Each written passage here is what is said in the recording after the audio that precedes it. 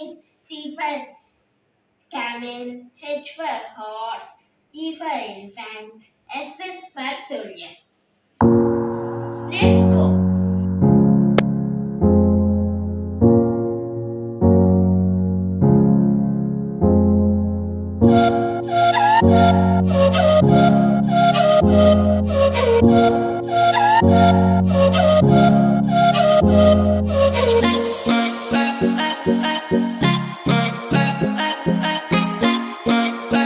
Thank